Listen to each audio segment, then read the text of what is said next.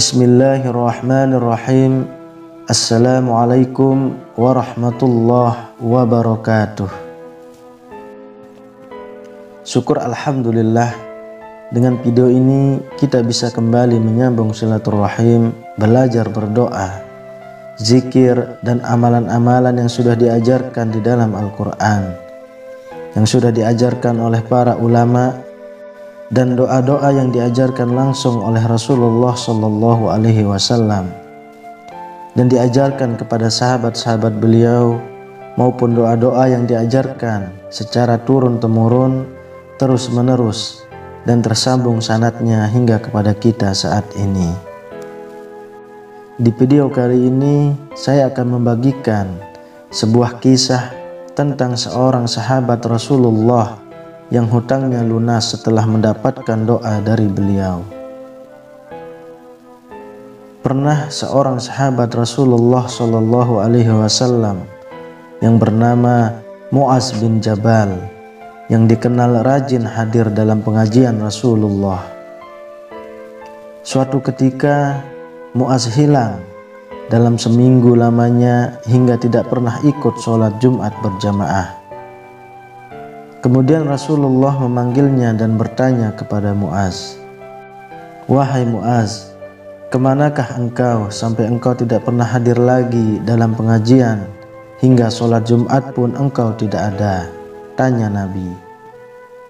Lalu Muaz berkata, Aku punya hutang ya Rasulullah. Aku sembunyi tidak berani keluar rumah karena tak sanggup membayar hutang ini. Aku bingung bagaimana membayarnya ya Rasulullah, kata Muaz.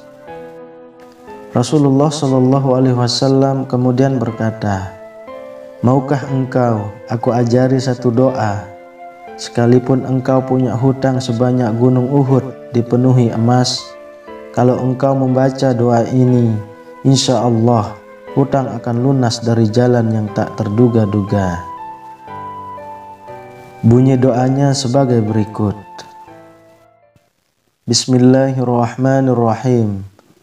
Allahumma ya farijal hammi, kasifal ghammi, mujiba da'watal mudtarrin, rahmanad dunya wal akhirah, wa rahimahuma, anta tarhamuni farhamni, rahmatan tugnini biha an rahmati man siwak. Bismillahirrahmanirrahim. Allahumma ya farijal kasifal ghammi, mujiba da'watal mudtarrin, rahmanad dunya wal akhirah, wa rahimahuma, anta tarhamuni farhamni, rahmatan tugnini biha an rahmati man siwak. Ya Allah, yang menghilangkan kerisauan, maha mengikis gundah gulana, maha mengabulkan doa orang yang menderita. Engkau maha pengasih kepada seisi dunia dan akhirat dan menyayangi keduanya. Engkau mengasihiku, berilah aku rahmat yang membuatku tidak memerlukan lagi pertolongan selain darimu. Ketika memasuki Jumat berikutnya, Muas bin Jabal sudah berada dalam masjid dan duduk di depan sambil tersenyum. Kemudian Rasulullah Shallallahu Alaihi Wasallam bertanya kepada Muaz, "Bagaimana kabarmu Muaz?" Lalu Muaz berkata, "Tidak berlalu satu Jumat, ya Rasulullah, melainkan hutangku telah lunas melalui jalan yang tak terduga-duga," kata Muaz.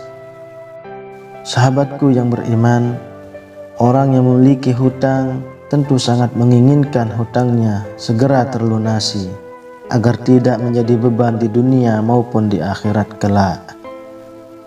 Semoga Allah Subhanahu wa taala menyelesaikan semua masalah kita di dunia. Amin ya rabbal alamin.